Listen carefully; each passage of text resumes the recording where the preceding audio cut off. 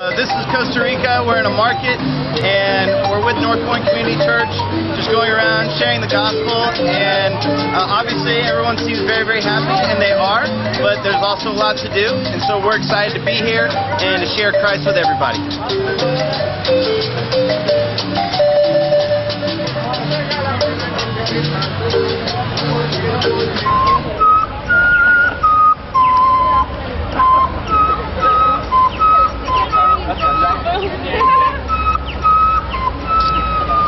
Yeah!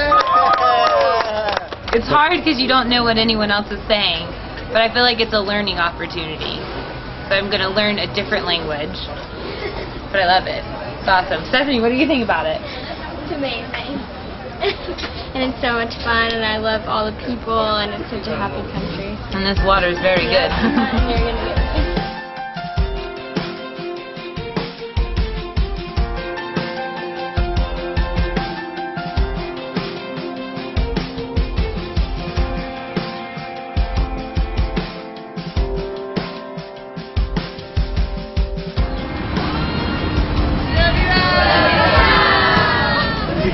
Today we are just painting the outside of the soup kitchen and some of us are going to be helping in the kitchen later and playing with the kids and doing some activities with them and just helping this place grow and look better and be better.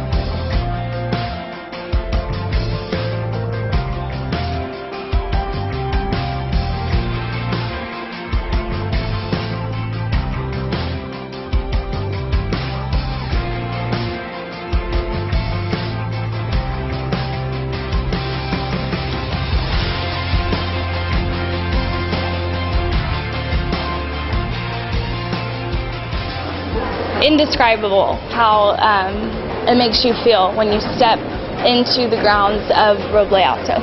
people that are doing something in Costa Rica where Roble Alto is beautiful. So a highlight for me actually was coming here today and just seeing this and going, you know what, it doesn't matter what you've got as long as you've got the heart to say I'm going to give, I want to I want to do whatever it takes to love, you can make an impact. And this place I started with 10 kids, but now it's serving over, you know, 150 to 200 kids and you just got to get started. You just got to take a step and you'll see how God blesses it. I hope they take back that people know who they are, that they're not alone, you know, like they don't have to be afraid that even though like they're in such terrible conditions that people do care about them like from other countries and that that there are people who do love them and do want to be there for them and just like be helped, you know, and that in life that there are people who do care. Y hoy hemos sentido la presencia de Dios a través de la amistad y el compañerismo que ustedes han brindado. Today we have felt God's presence um, through the, your friendship and your uh, sharing spirit with us. Muchas gracias. de nuevo. Thank you so much again. Thank you.